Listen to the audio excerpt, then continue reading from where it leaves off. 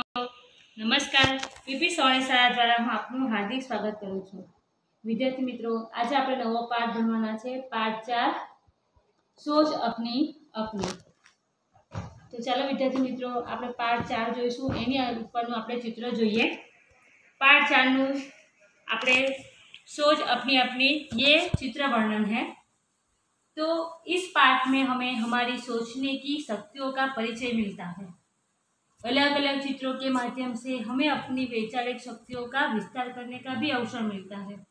अलग अलग विषयों पर हमारी सोच बनती है। एक दूसरे से हम चर्चा करते हैं, हमारा ज्ञान बढ़ता है।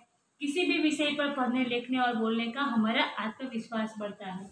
इस प्रयोजन से रखा गया यह पाठ चित्र वर्णन हमारे लिए बहुत ज़रूरी है। सभी के व्यक्तित्व विकास में ये फायदाकारक साबित होगा। इसलिए आज हम सोच अपनी अपनी चित्र वर्णन करेंगे। तो बच्चों, ये चित्र में हमें पहाड़, पक्षी, मंदिर, घर, सूरज सुबह का दृश्य, चरवाहा, बाघ, भैंस, किसान, फूल, छोड़, तितलिया, बच्चे नारियल के पेड़, ये सब दिख रहा है। तो हम चित्र वर्णन करेंगे। तो कैसे कैसे होगा इस दृश्य का चित्र वर्णन?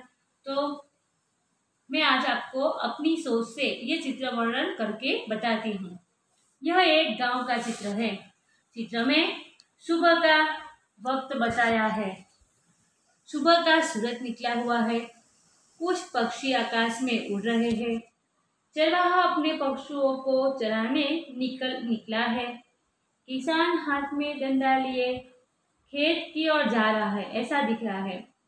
गाँव पहाड़ियों के बीच बसा है। देखो बच्चों, चित्र में पीछे पहाड़ियाँ दिख रही है। चित्र में चित्र में नांजर के दो पेड़ दिख रहे हैं। बच्चे बगीचे में खेल रहे हैं। देख रहे हैं दो बच्चे हैं जो बगीचे में खेल रहे हैं। वो खेलते खेलते क्या रहे क्या कर रहे हैं? वे तितलिया को पकड़ने की कोशिश कर रहे हैं। मेरे ख्याल से चरवाहा क्या सोच रहा होगा कि भाई, ईश्वर ने प्रकृति कितनी सुंदर बनाई है। तो मैंने मेरी सोच से, सोच के हिसाब से मैंने ये वाक्य बनाए। तो आप भी ये चित्र का देख कर आप भी कुछ भी वाक्य लिख सकते हो, बना सकते हो। यानी अपनी अपनी सोच से ये चित्र वर्णन करना है। तो बच्चों, ये चित्र हमें, ये चित्र देखकर हमें वाक्य बनाने हैं और इसके बारे में सोचना है और लिखना है। तो बच्चे, ऐसे अपनी सोच सोच, अपनी सोच आपको चित्र वर्णन करना है। अस्तु।